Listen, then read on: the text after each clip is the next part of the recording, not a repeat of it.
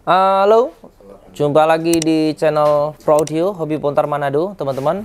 Nah, di video kali ini saya akan mencoba menginstal loudspeaker management system dari Asley tipe 260 Plus ini. Karena dari banyak WA yang uh, saya baca atau juga banyak yang berkomentar itu gimana cara nginstalnya? Terus masih ada solusi lainnya enggak terus uh, kenapa tidak terbaca sudah terinstall? Nah di sini uh, uh, laptop ini baru uh, belum terinstall apa pun. Jadi laptop ini masih kosong. Uh, ini WA barusan ini uh, minta gimana caranya. Nah uh, kita coba install langsung ya. Kita mau lihat uh, bagaimana uh, prosesnya dan teman-teman juga bisa kalau berhasil teman-teman bisa langsung praktekkan juga. Harusnya cukup mudah ini ya. Kita buka.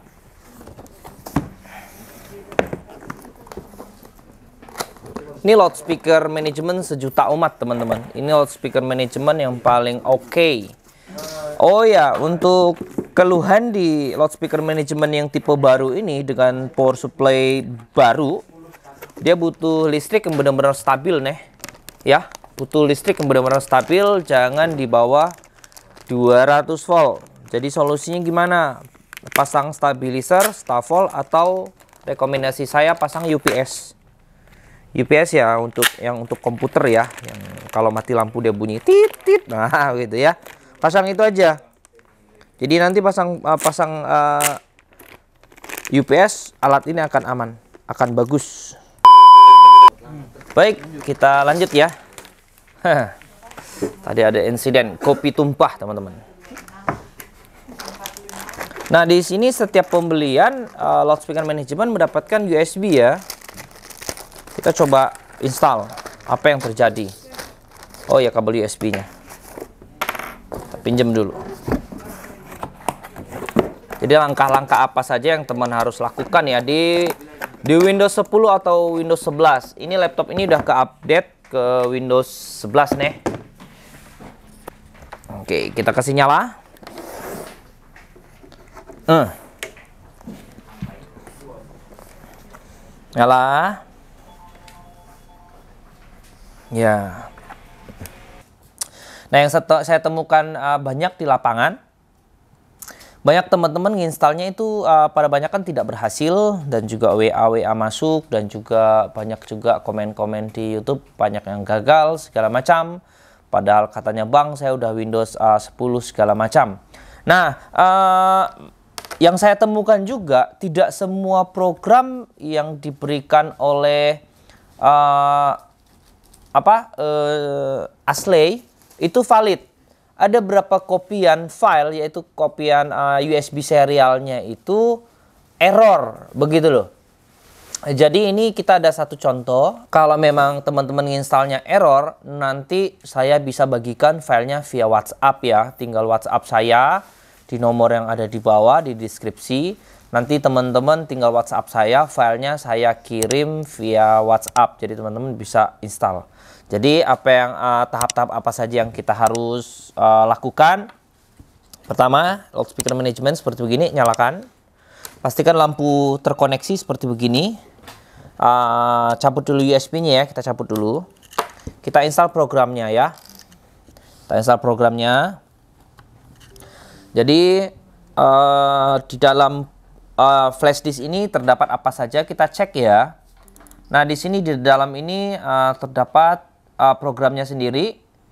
Uh, ini yang pertama kali kita install ini ya, teman-teman ya. Kita install ini. Klik saja. Yes. Uh, next, next, next. Oke, okay, ini seperti ini. Install.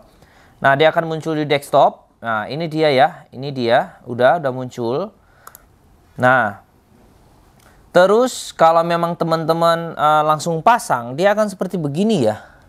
Pasang ya uh, pasang saat teman-teman kasih on kasih uh, buka programnya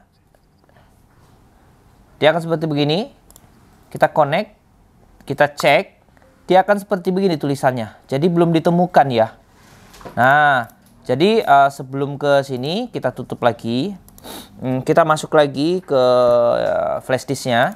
Ini ini jangan lupa diinstal ini. Ini USB serialnya nih ya. Nah, ada berapa kasus ininya error. Jadi di teman-teman mungkin nggak semua dapatnya mulus ya, dapatnya kopiannya bagus. Nah, ini dia yang masalah. Ini nanti ini uh, ini nanti saya bisa bagikan via WhatsApp. Kalau memang teman-teman uh, uh, CH341 uh, share serialnya ini error ya. Jadi saya bisa uh, bagikan via WhatsApp. Kita coba install. Nah, dia akan seperti begini. Uh, kita yes tentunya. Jadi kita install.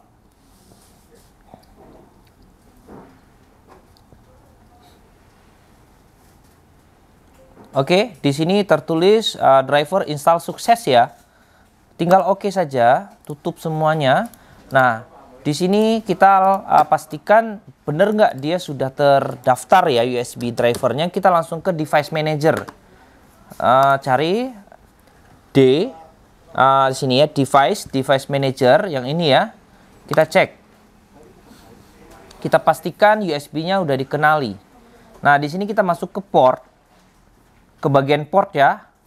COM dan LPT di sini ya. Nah kita klik. Nah sudah. Dia sudah terinstall nih teman-teman. Jadi sangat mudah kan? Di sini terbaca USB serial CH 340 nah uh, dia di posisi COM 5 jadi USB di sini nih, ini posisi di COM 5 ya. Di COM 5. Nah, saat teman-teman udah cek seperti begini, teman-teman tutup. Baru masuk ke uh, programnya. Kita langsung masuk. Connect. Terus langsung saja ini dipindahkan ke 5. Ke COM 5, langsung tinggal. OK. Udah, selesai. Itu saja. Jadi ini udah tertulis ini online device nih ya. Berarti ini udah dikendalikan di laptop. Di laptop kita coba klik. Kita lihat dalamnya seperti apa. Ini posisi harusnya flat karena dari pabrik. Ya oke. Okay. Nah, kita nyalakan ping noise-nya. Ini ada noise generator di sini. Jadi asik sekali ini loudspeaker management. Kita pakai ping noise. Ah, kita klik, kita nyalakan fullkan. Jadi ada level naik. Level naik, di sini juga level naik. Sama kan? Coba kamera di sini. Nah, di sini ada level naik. Di desktopnya juga ada level naik. Ya. Jadi ini uh, keren banget. Nah, uh, intinya teman-teman coba install bila didapati uh, eh, USB serial CH340-nya error, nanti saya bisa kirim filenya via WhatsApp. Nanti ke teman-teman dari dari handphone, handphone tinggal uh, ambil, masukin ke laptop ya. Jadi tinggal install, klik aja seperti video yang teman-teman lihat tadi. Terima kasih. Sekian video tutorial gimana cara install driver uh, loudspeaker management Ashley 260 plus ya. Semoga lewat video ini bermanfaat. Bila ada pertanyaan, bisa juga komen di bawah, bisa juga WhatsApp saya. Semoga berhasil. Salam Pro Audio.